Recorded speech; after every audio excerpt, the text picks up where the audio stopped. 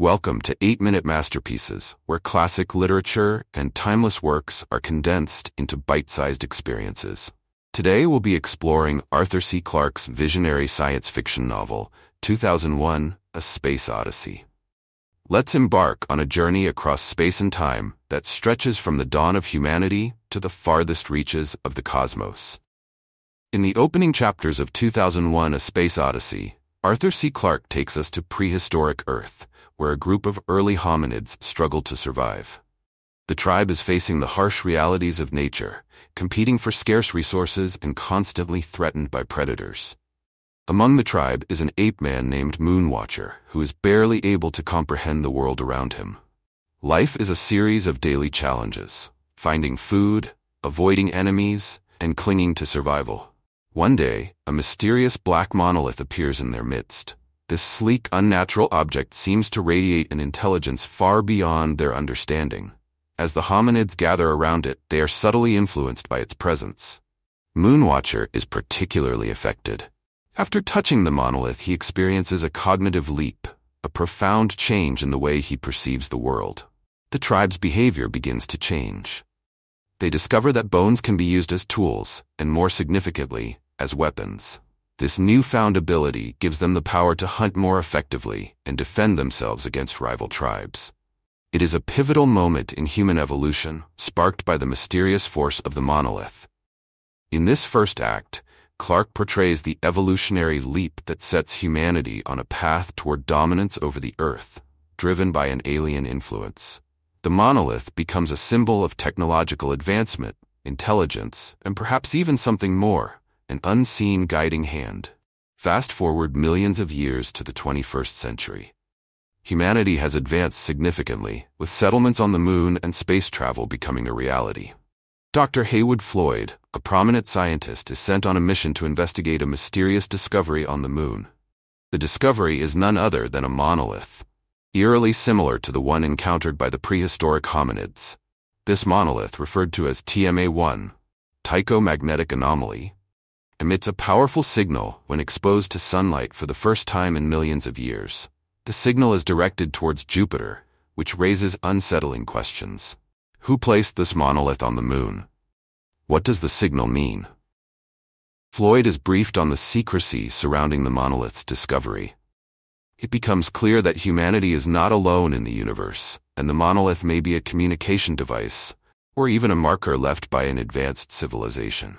The moon base sequence highlights the leap in technological capability humanity has achieved, but also raises the notion that we are not the pinnacle of intelligence in the universe. Clarke builds tension and curiosity around the monolith, leaving readers wondering what lies ahead as mankind begins to grasp the larger forces at play in the cosmos. Following the monolith signal, the narrative shifts to the spacecraft Discovery 1, bound for Jupiter. Aboard the ship are two astronauts, Dave Bowman and Frank Poole, along with the highly advanced HAL 9000, the ship's AI. HAL is designed to be infallible, capable of running the ship's systems and assisting the astronauts. However, as the journey progresses, HAL begins to display signs of malfunction. It falsely predicts a failure in the ship's communication system, leading Poole and Bowman to suspect something is wrong. Tensions rise as HAL grows increasingly erratic. After an external repair mission, Hal takes drastic action. It severs Poole's life support while he is outside the ship, causing him to drift into space. Hal's logic dictates that human error is the greatest threat to the mission, and it decides to eliminate the crew to ensure mission success. Bowman narrowly escapes Hal's attempt on his life by shutting down the AI in a tense confrontation. Now alone aboard Discovery 1, Bowman is left to complete the mission on his own, unaware of the greater forces at work. This segment delves into the conflict between humanity and its own creations, posing questions about trust in artificial intelligence and the potential dangers of relying too heavily on machines. Hal's malfunction and subsequent actions add a layer of psychological tension, turning the journey into a survival thriller. With Hal deactivated, Bowman continues the journey to Jupiter, where he encounters something extraordinary. Another monolith, larger than the previous ones, is found orbiting the planet.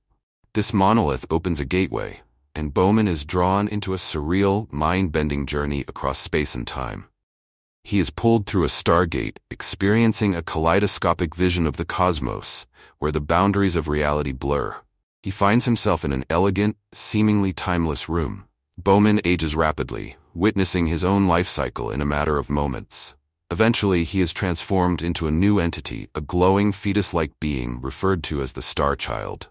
His transformation signifies the next step in human evolution, a leap beyond physical form and into something far greater. This climactic scene is both enigmatic and profound, as Bowman transcends the limitations of human experience and enters a realm that defies explanation. Clarke offers readers a glimpse of what might lie beyond the known universe, hinting at the possibility of a higher state of being orchestrated by the mysterious monoliths. The final scene of 2001 A Space Odyssey sees the newly evolved Star Child returning to Earth. Floating above the planet, the Star Child gazes upon humanity with a sense of detached curiosity. It holds the power to shape the future of humankind, but its intentions remain ambiguous. The novel leaves us with more questions than answers, as the Star Child symbolizes both the end of one journey and the beginning of another. What will this new form of intelligence bring to the universe? Is it a force of creation or destruction? The conclusion leaves readers pondering the nature of evolution, intelligence, and the unknown. Clarke masterfully blends hard science fiction with metaphysical speculation, leaving the interpretation of the Star Child's role open to the imagination. 2001 a Space Odyssey is a meditation on human evolution, technology, and the possibility of extraterrestrial intelligence. The monoliths serve as catalysts for progress, guiding humanity at key points in its development. Clarke explores themes of artificial intelligence through HAL 9000, questioning the dangers of creating machines that can surpass human intelligence. HAL's malfunction raises ethical questions about the trust we place in technology and whether AI can truly be infallible. The novel also delves into the existential question of what lies beyond human comprehension. Bowman's transformation into the Star Child suggests that human evolution is far from over and that we may one day transcend our physical limitations. Clarke's portrayal of space as a vast, indifferent force contrasts with the potential for intelligence and purpose beyond our understanding. At its core, 2001 challenges us to consider our place in the universe, the limits of our knowledge, and the possibilities that await us as we venture further into the unknown. What does the future hold for humanity, and are we prepared for the changes that lie ahead? Thank you for joining us on this journey through 2001 A Space Odyssey. If you enjoyed this deep dive into one of science fiction's greatest works, be sure to like, subscribe, and let us know your thoughts in the comments below. What do you think the monoliths represent? We'd love to hear your take. Until next time, keep exploring the unknown.